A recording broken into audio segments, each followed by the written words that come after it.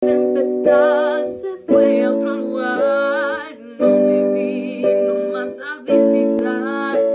Llegó la calma y la paz, no entiendo, ahora puedo ser feliz. Jesús.